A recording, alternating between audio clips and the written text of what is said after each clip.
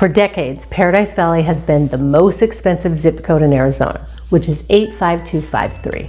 Affluence is nothing new to the town of Paradise Valley. It's a wealthy area with lots of high net worth individuals, celebrities, athletes, and executives. But it's a lot quieter here than Manhattan or Los Angeles, so you can fly under the radar if you want. It includes residents like the Kellogg family, Alicia Keys, Michael Phelps, Muhammad Ali, Emma Stone, former US Vice President Dan Quayle, and Charles Barkley. In today's episode of Living in Luxury with Marcia Canady, I'm going to tell you everything you ever wanted to know about Paradise Valley. I'll go over the history, the lifestyle, and the real estate market.